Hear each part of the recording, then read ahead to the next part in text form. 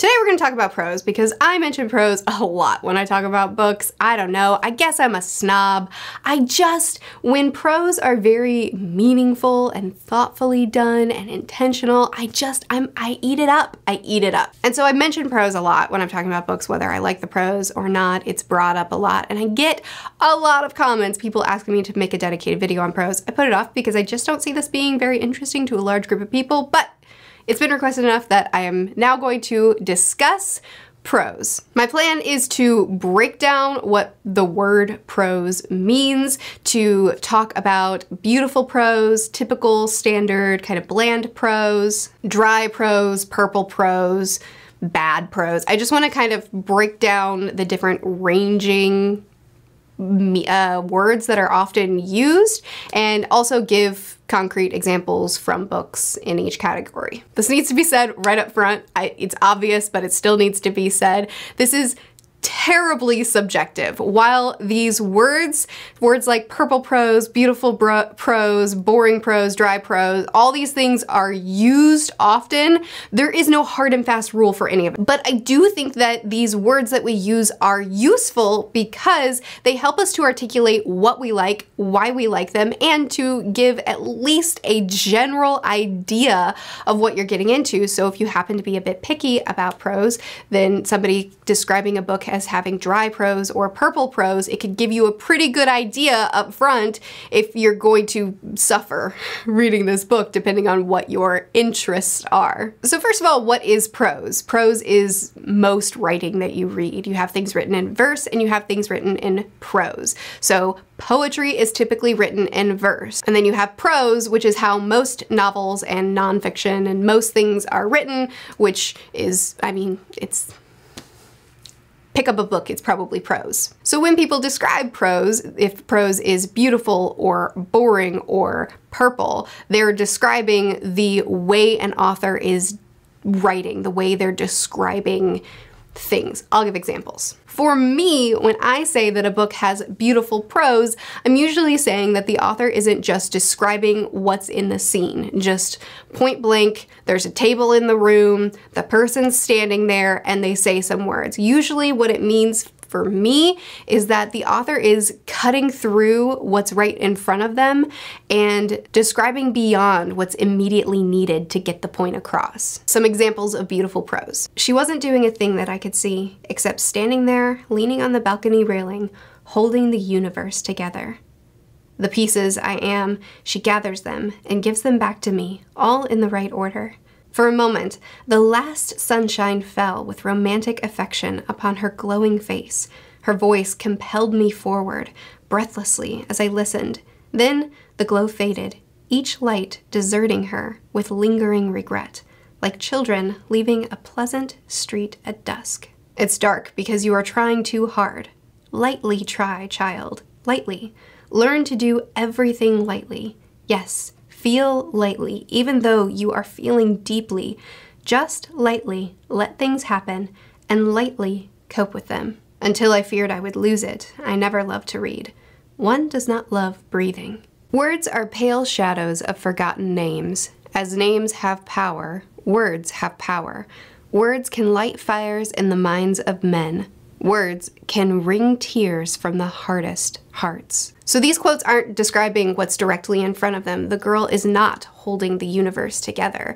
Uh, the person did not physically crumble and someone didn't walk up and, and put the pieces back together and hand it to them. The prose is describing something beyond what's immediately there. It's describing what's beyond uh, what's physically in the scene. And it's describing the emotions that people are are feeling. It's describing what they're going through and how they're interacting with the world in a more metaphorical way that directly relates to what's being discussed. For me the reason I love this kind of writing is because Obviously, these authors are also going to describe a scene. When you walk into a room, they're going to describe what's in that room. When someone's feeling angry, they're going to say that person is feeling angry. But when this kind of prose is used the is used effectively, what it can oftentimes do is it can cut through the scene and and bring you closer in to the emotions of the scene, to the feelings of what the characters are going through and and help you to feel it rather than just see it, to experience it rather than just be told about it. If you're interested in more quotes like this, I have a couple of videos dedicated just to great book quotes, and usually those are quotes like these because that's what I like. But I also want to mention for me when I talk about beautiful prose, it can it can look a lot of different ways. Um, Fredrik Backman is one of my favorite authors and Corey recently read Anxious People, which is one of my least favorite of his books, but we read it together. I didn't know it was going to be one of my least favorites. It was still great.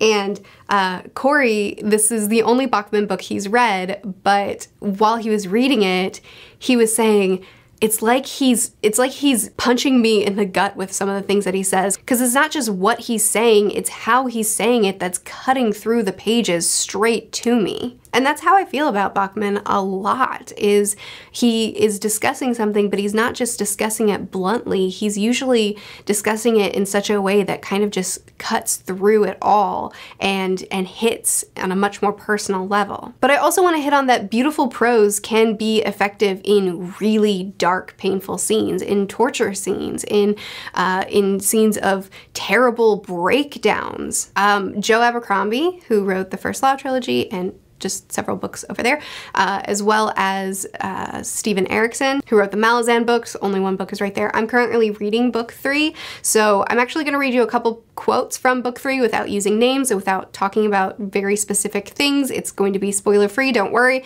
but I'm currently reading it, so it's on my mind a lot. And Erikson and Abercrombie have this ability to write these devastating, dark scenes and, and to do it in a way that's so beautiful that it brings me in so much closer. Let me explain. This is a scene of a person being very upset. And so you would die now. Yes, I understand. A mother must not be led to hate the child she has birthed. Yet, you demand too much of yourself. She has stolen my life, she screamed, gnarled hands closing to fists from which the blood within them fled. The woman stared at those fists, eyes wide, as if they were seeing a stranger's hands skeletal and dead, there at the end of her thin arms. Oh, Crone, she said softly, she has stolen my life. To me, the pain in this scene isn't described in some over-dramatic way, but it's also not described completely directly. It cuts through the emotions in a really raw way. Another scene that is has no dialogue is just describing what's happening around it. Another Erikson scene. He lurched upright, swung around, and began walking. A lumpy, yielding ground was underfoot. He did not look down, simply pushed on. It was all around him now, savage and deadly, yet held back from him, unable to reclaim his soul. The poison howled. He could feel the fingers once more, still pressed against the broken throat of his friend. Yet, within his mind, he still walked, step by step, inexorably pushed forward. This is the journey to my flesh. Who has done this for me? Why? It began to dim around him. He was almost home. He looked down to see what he knew he would see. He walked a carpet of corpses, his path through the poisoned horror. Costly. So costly. I intentionally skipped over uh, names and stuff in that, but um, it could have been, it would have been so easy for this author to just say he walked over a pile of bodies. But instead, what was described was the feeling of it. What was described was the the horror of what was happening and and the cost of what had gotten him to this moment. It draws you into the senses rather than just describing what's in front of you. He's walking over bodies. It describes the senses as well as the emotions. And to me, it's so haunting. So those are some examples of what I would describe as beautiful prose that is speaking Personally, you may not like any of those examples that I gave, but the point is that beautiful prose usually is cutting through what's immediately in front of you and describing what's beneath the surface, what's deeper there, and usually in a nice, pretty way, even if it's horrifying. Now let's talk about purple prose. I have less examples for this one, but boy do I have examples. Purple prose is similar to what I describe as beautiful prose, just on steroids. It's usually very embellished language. It's a little bit over the top. It's very symbolic. It's not even slightly describing what's immediately in front of you. It is primarily describing emotions and feelings and just this very lyrical, emotions heavy, metaphorical, really just nothing in front of you is real. It's just all about yeah, I'll show you. I love you, I love you, I love you. I'll write it in waves, in skies, in my heart. You'll never see, but you will never know. I'll be like all the poets. I'll kill them all and take each one's place in turn. And every time love's written in all the strands, it will be to you. I want to be a body for you. I want to chase you, find you. I want to be eluded and teased and adored. I want to be defeated and victorious. I want you to cut me, sharpen me. I want to drink tea beside you in 10 years or a thousand. Flowers grow far away on a planet they'll call something. When the living star and its black hole binary enter conjunction, I want to fix you a bouquet of them, gathered across 800,000 years so that you can draw our whole engagement in a single breath all the ages we've shaped together. okay, I love you, I love you, and I love you on battlefields, in shadows, in fading ink, on cold ice splashed with the blood of seals, in the rings of trees, in the wreckage of a planet crumbling to space, in bubbling water, in bee stings and dragonfly wings, in stars, in the depths of lonely woods where I wandered in my youth, staring up, and even then you watched me. You slid back through my life, and I have known you since before I knew you. Hunger, read, to state a hunger or to stoke it, to feel hunger as a furnace, to trace its edges like teeth. Is this a thing, singly? No? Have you ever had a hunger that whetted itself on what you fed it, sharpened, so keen and bright that it might slit you open, break a new thing out? Sometimes I think that's what I have instead of friends. Now imagine reading an entire book where things are described like this. Every time there's an emotion, every time somebody wants to describe something, it is described in this way. That's purple prose. Um, I have a friend who loves purple prose, Brittany. If you like them too, you should check out her channel because she's wonderful. Uh, she, I actually, the, every single quote that I, every single quote that I just read you was from This Is How You Lose a Time War. So if you dig that? Here's a whole book of it. Um, this book was such a challenge for me to read. Oh, I struggled. But I mean, it was, I came out enjoying it, but the pain. I'm not a purple prose person, but my friend is. There's nothing wrong with liking this. It's not an inherently negative thing. It's a very, I think people who are more in touch with their emotions maybe like it more than me. Even though being calling prose purple is oftentimes used in a negative light, it's not an inherently negative thing. And again, a lot of people absolutely love it. So the goal here is just to give you an idea of what it means when someone tells you that pro that the prose in a book is purple so that you can hear that and then say, yes, or no, or I don't care. It means nothing. I, it doesn't affect my enjoyment at all. Another very common phrase, another very common thing that people say is that a book has boring or average prose. Sanderson is a very well-known author that often gets this label. By me too. I say it. It's true. I love Sanderson books. I have a whole shelf dedicated, whoop, that way. I have a whole shelf dedicated to him. Uh, but yeah, I, I love, I love beautiful prose and Sanderson is a very direct, straightforward writer. He describes what is in front of him in his prose, which is not not a negative thing at all. A lot of people actually really love that. They don't need all the metaphors. They don't need to cut through the scene to the emotions, to what's deeper, to what's beneath. They just want to know what's in the scene so that they can read the story. And they love Sanderson for doing that. All right, I just flipped to a random page and I found one. Why not? They stood there for a few more minutes, watching the mist gather. Finally, Kelsier stood up straight, stretching. Well, for what it's worth, I'm glad you decided to join us. Vin shrugged.